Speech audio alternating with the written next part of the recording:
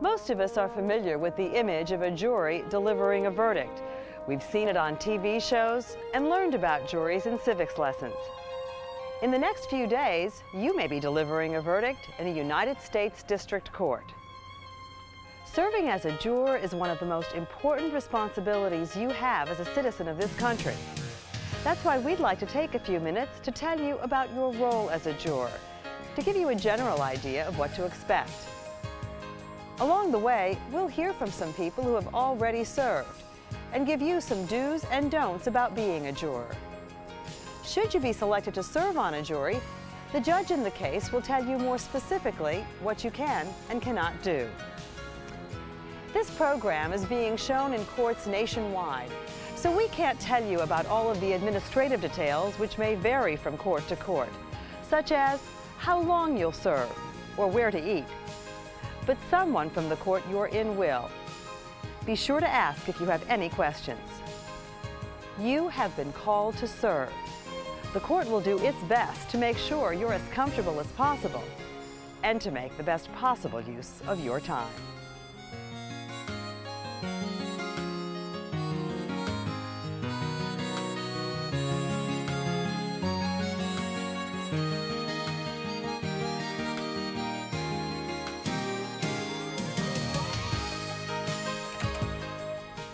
Everybody had a different opinion about what they thought really happened.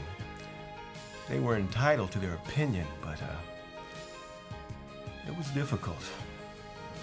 I didn't think I'd get so drawn into the case. Sure, there were boring moments, but overall, I found it very interesting. Well, one of the things I really liked about serving on a jury was the way I was able to find out what others were thinking and to have them listen to my ideas. The people went back and forth, back and forth. It took a while, but I think we made the right decision. You may have yet a different reaction to your service. The different values and perspectives that jurors bring to the courthouse are a strength, not a weakness. The right to a trial by jury is guaranteed by our legal system. Article 3 of the U.S. Constitution says that the trial of all crimes shall be by jury. The Constitution's Seventh Amendment guarantees juries in most civil cases. Juries serve as a protection against the power of government.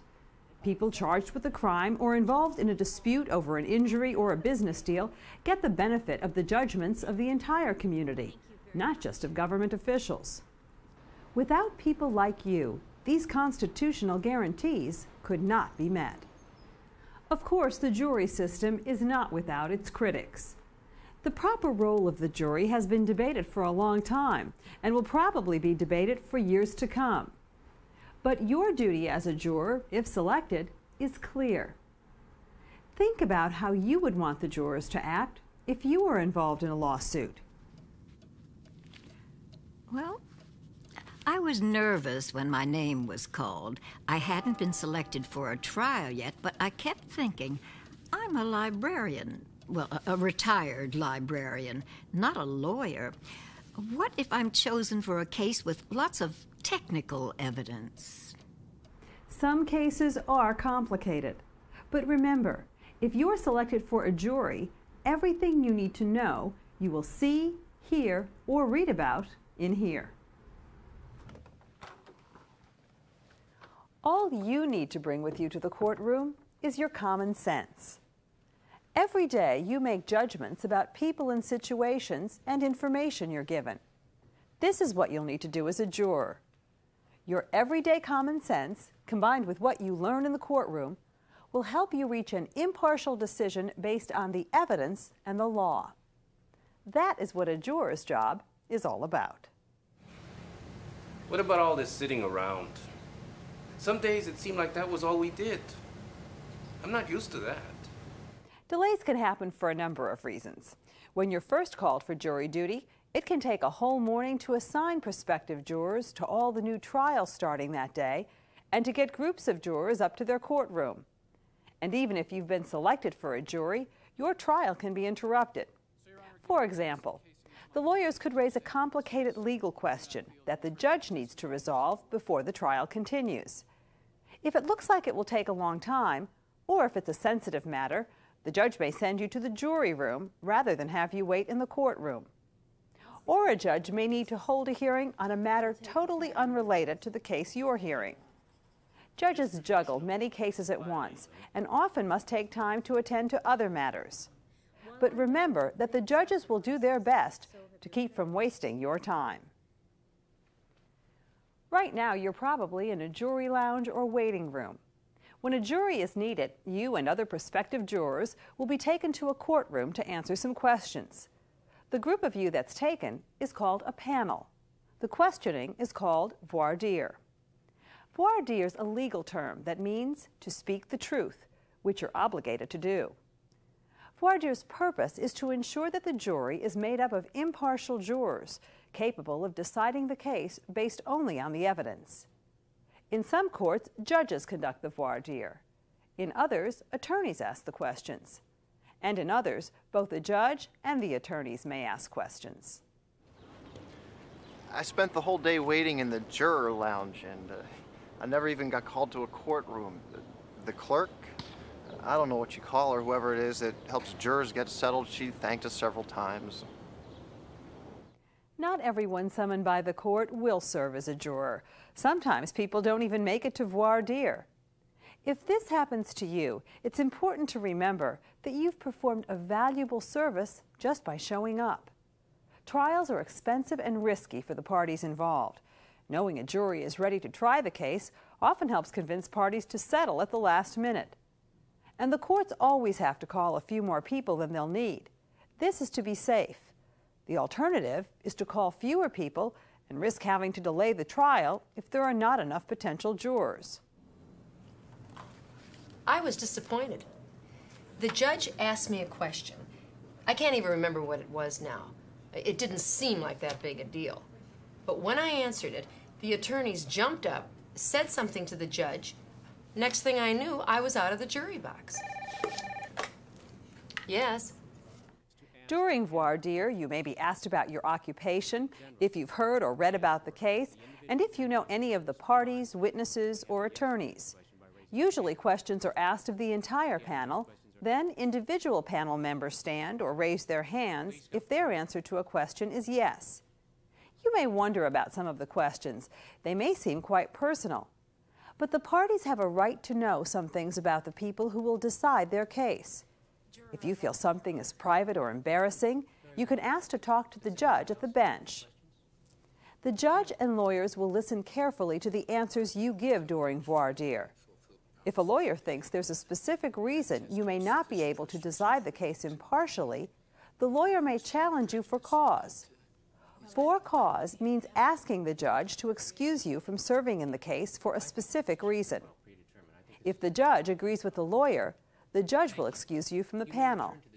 This means you can't sit on that case, though you may be sent back to the jury room for possible selection in another case.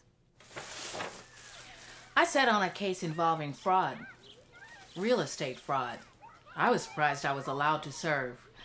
I told the judge that I'd had bad experiences with real estate agents, but that I thought I could decide the case fairly.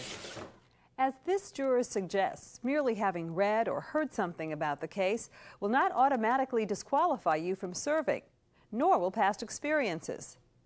What's important is that you've not made up your mind about the case and can decide it impartially. There's no limit on the number of jurors that can be excused for cause, but there are limits on the number of peremptory challenges. With peremptory challenges, lawyers don't have to give a reason to the judge.